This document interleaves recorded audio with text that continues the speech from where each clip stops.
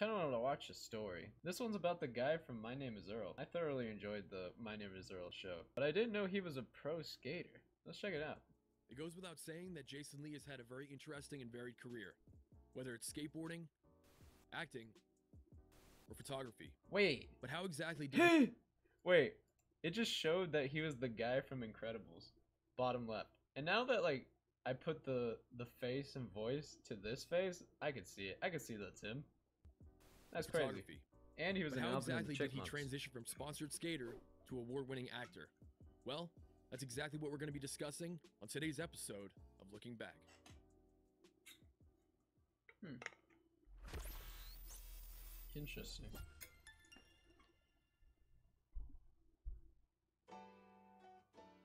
Jason Lee was born in Santa Ana, California on April 25th, 1970. what a picture he made. I couldn't find any pictures of Jason Lee as a baby, so I photoshopped this under the assumption that he was born with an Earl Hickey mustache. Great assumption to make. but he actually spent his formative years just a few miles down the road in Huntington Beach, California.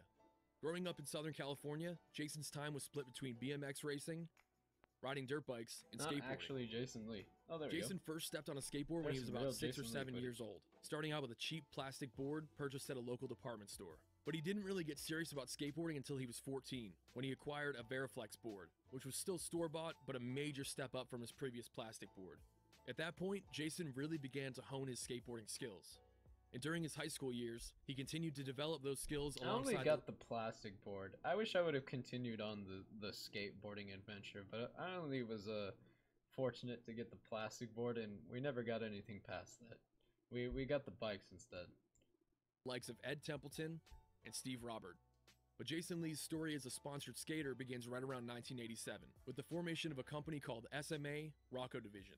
The company's founder, Steve Rocco, really made a name for himself as a freestyle skater and eventually became team captain for Vision Skateboards. Whoa, But those when Rocco was fired from Vision, he found himself in a pretty dire situation financially. So he took out a cash advance on his credit cards for a sum of about $6,000 and used that money to manufacture 500 skateboard decks with the help of Skip Engblom. Skip Engblom is the entrepreneur responsible for the Zephyr Surf Shop and the Zephyr competition team, better known as the Z Boys. He was later portrayed by Heath Ledger in the movie Lords of Dogtown. Skip's company, SMA, which Hmm, never stands for it. Santa Monica Airlines, was operated under the distribution company NHS Incorporated, best known for manufacturing Santa Cruz skateboards. But Steve Rocco turned around and sold all of the boards he produced with the help of Skip and essentially doubled his money in the process. Slowly but surely, SMA Rocco Division started to flourish, and the company began snapping up talent from bigger brands. Most notably, Jesse Martinez, Rodney Mullen, and Mike Vallely, three individuals who are now considered legends in the world of skateboarding. And people were definitely left scratching their heads when three riders from Powell Peralta all of a sudden stepped down from the company to ride for Steve Rocco's new, much smaller brand. But how does Jason Lee play into all of this?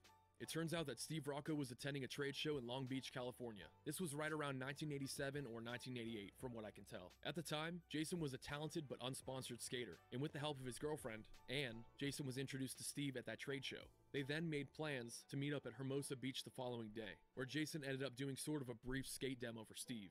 And as a result of that meeting, Jason landed an amateur level sponsorship with SMA Rocco Division. Damn. But shortly after signing Jason to the team, SMA Rocco Division rebranded as SMA World Industries. And it turns out that Steve Rocco's company technically wasn't even affiliated with SMA, but the brand was launched with the help of Santa Monica Airlines, so they sort of just stuck with the name. Well, the parent company of SMA, NHS Inc., wasn't happy about that. Therefore, oh. once again, SMA World Industries changed their name, and were now simply known as World Industries. World Industries truly sparked a revolution in skateboarding because, unlike their competitors, they were determined to push street skating into the mainstream going into the 1990s, whereas vert skating had pretty much dominated the market for the last decade. They were also the first company that heavily incorporated humor into their board graphics, magazine ads, and videos. World Industries magazine spreads specifically helped them gain notoriety, I feel like that's a pretty big part of the culture these days. So they, they made a pretty big part of the culture now. Damn. Experienced a pretty modest amount of success with World Industries, but his skateboarding career took a major turn when he joined the newly formed Blind Skateboards, a subsidiary of World Industries founded by Mark Gonzalez in 1989. With his move to Blind, Jason went from being considered an amateur level skater to a full fledged professional rider. In those humorous magazine ads I just talked about, debatably the most notorious of all was the blind ad that took a direct shot at George Powell and the Powell Peralta brand as a whole. This spread was a response to a magazine ad published by Powell Peralta that made fun of smaller skateboard companies. But those ads were only the beginning, because Blind Skateboards turned around and released one of the greatest skate videos of all time in the form of Blind Video Days. Blind video days. I like the OG skate footages from like the 90s. Whether it be like CYK or like some jackass shit. Video Days not only showcased some absolutely amazing skate parts, but also had an incredible soundtrack and some just batshit crazy skits. And as for Jason's part, it was clear that this guy had a level of charisma capable of rocketing him into something much bigger. Dude, I'll give you a hundred bucks and I'll take out the Benny Hondas if you slide that 75 foot handrail. I'll give you 600 tries. I'll be back next week. Lit.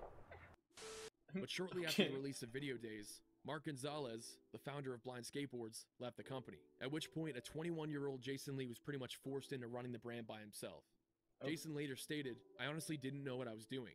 I definitely didn't know about the money and the workings of the business. I just didn't fit that role at the time.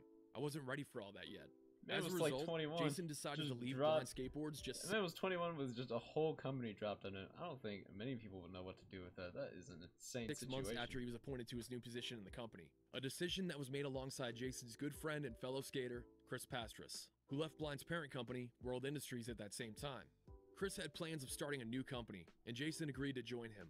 That company was called Blue Skateboards, formed under the Vision Skateboards brand with the help of its founder, Brad Dorfman. Now, don't feel bad if you don't recognize the name because it didn't last very long.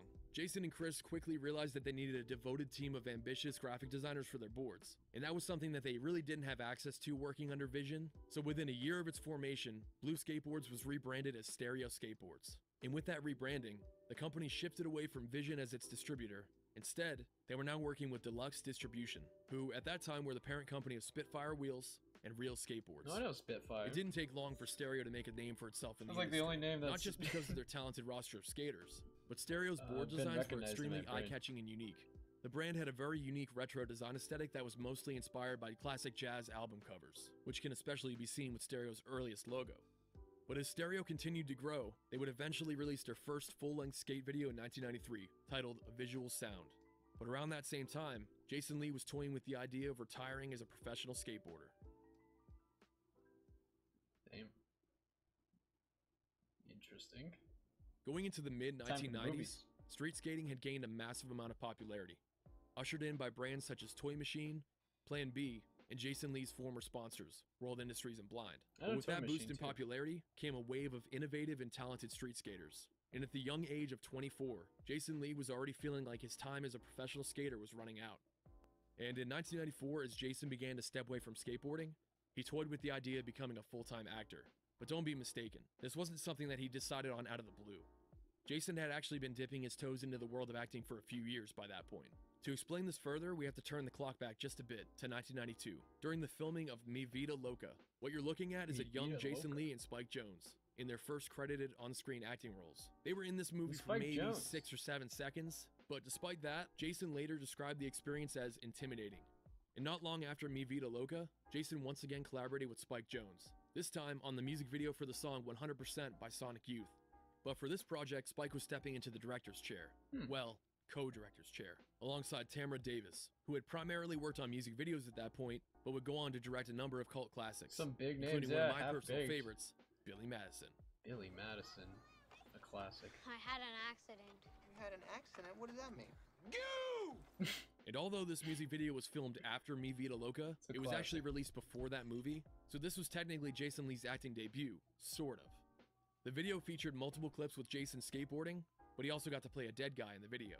And despite playing a character without any lines, Jason later said, I was just stoked to feel like I was in something where I was kind of acting, you know? Something that wasn't just a skate video. Almost like a movie project or something. I got to play dead, trying to do the best acting that I could. Jason then appeared in another music video, this time for the Redd Kross song Jimmy's Fantasy, where, as the star of the video, he had a bit more screen time. With all that out of the way, we can now jump back, or ahead, to 1994, to the pre production stage for the movie that changed Jason's life forever Mallrats. Mallrats. I don't think I've ever heard of this.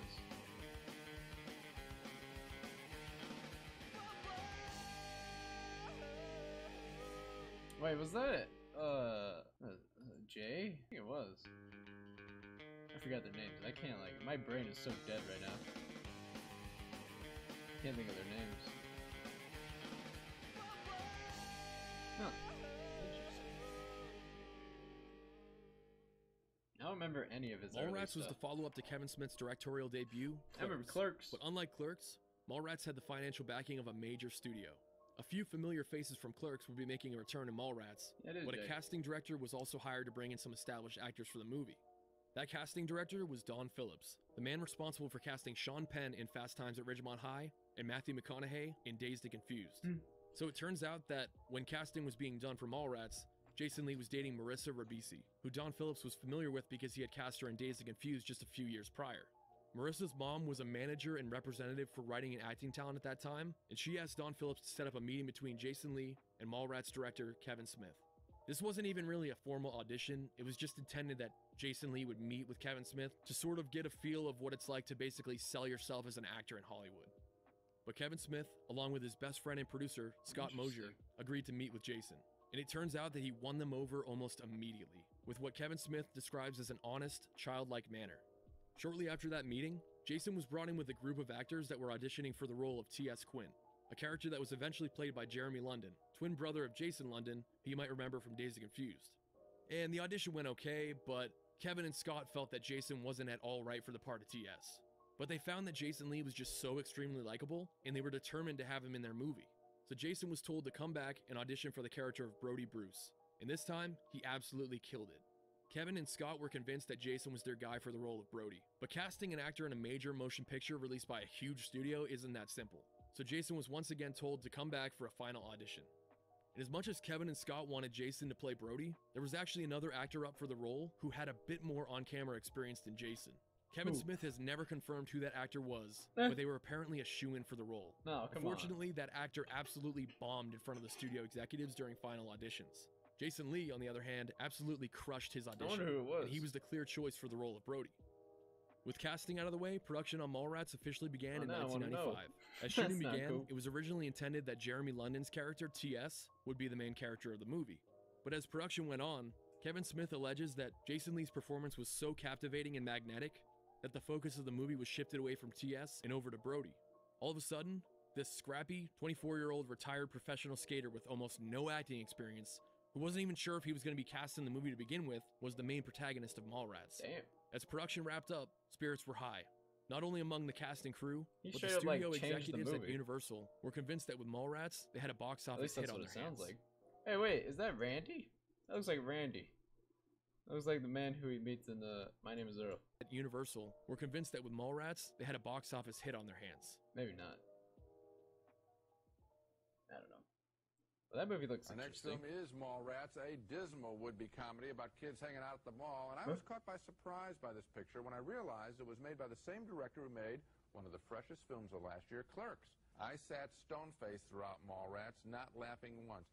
Rent Clerks instead of Oh, seeing man. Mallrats. I'm totally in agreement with you on this. Unfortunately, Oh, those predictions couldn't have been more wrong, as Mallrats made just over $1 million its opening Oh weekend. no. By the end of its run, the film made a total of $2 million on a $6 million budget and was declared a box office bomb.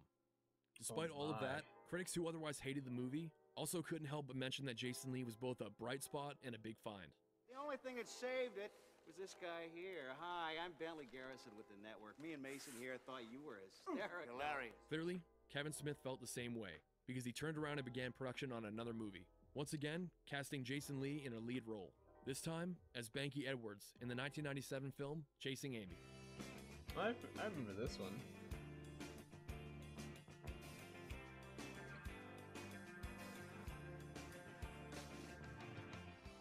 I haven't seen Chasing it like Amy forever, was truly a return to form for Kevin Smith, as the movie was produced with essentially a shoestring budget.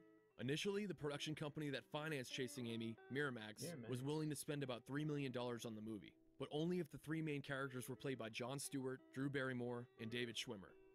And say what you Hmm. will about Kevin Smith, but the guy is loyal names. to his friends. because he told Miramax that he would take just $250,000 to produce Chasing Amy, but only if they allowed him to cast Jason Lee, Ben Affleck, and Joey Lauren Adams in the movie. Miramax accepted that deal, much to the chagrin of producer Scott Mosier, who now had to figure out a way to produce a movie with 124th the budget utilized on Mallrats. Nonetheless, the film was eventually completed and ended up making over $15 million worldwide during its theatrical run. Once again, Damn. not that big of a number, but unlike Mallrats, Chasing Amy was highly profitable.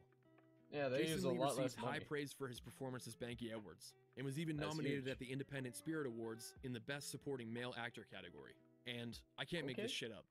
Not Yes. only did Jason win the award against Samuel L. Jackson, I might add, but he was also up against Roy Scheider, who played Chief Martin Brody in Jaws, hmm. the character that inspired the name of Brody. Bro, this guy like stole the show on everything he was a part of so far. Like Mallrats chasing Amy, like he just kind of came in and he's doing it. like holy shit, he beat Samuel L. Jackson and the guy from Jaws. That is Bruce insane. and Mallrats.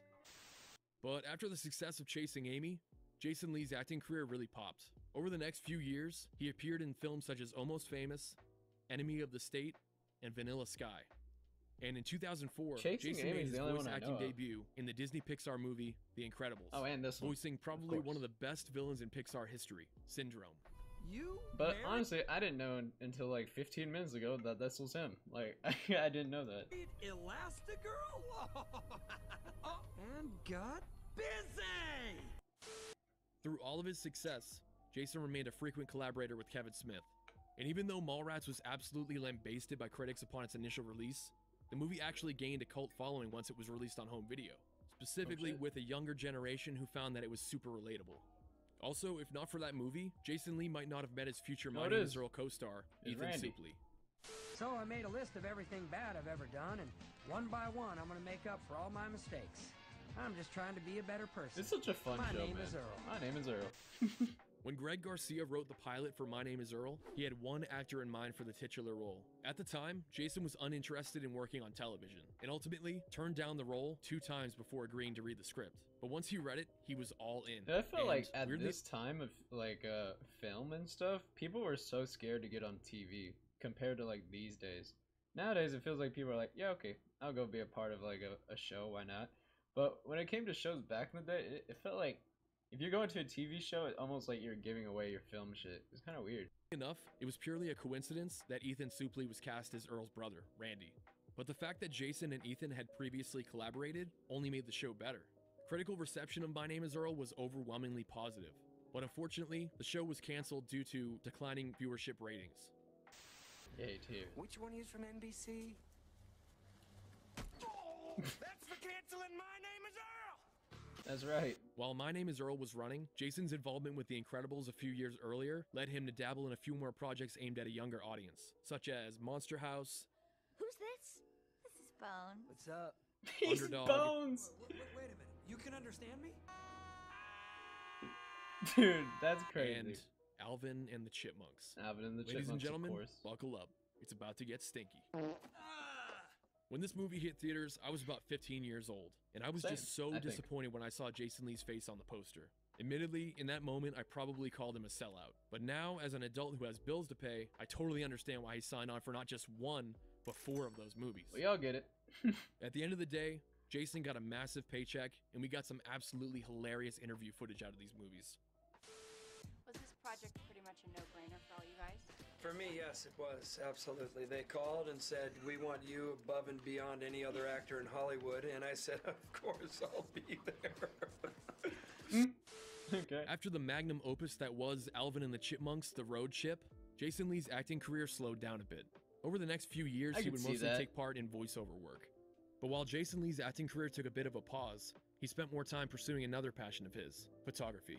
Jason has actually been shooting photos since the early to mid 2000s, but began publishing photography books in 2016. He specializes Really? in photographs of rural America for the most part.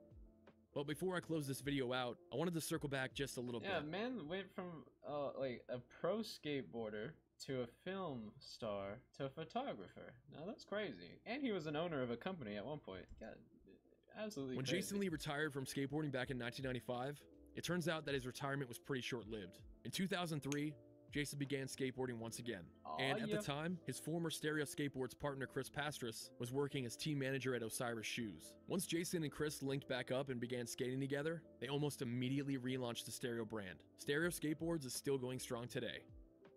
Oh, really? Oh, damn. Hmm. And that'll Well, do it for crazy. today's video. I had so much I found out so much about this guy. I only knew that he was Earl, but now I know so much more about him.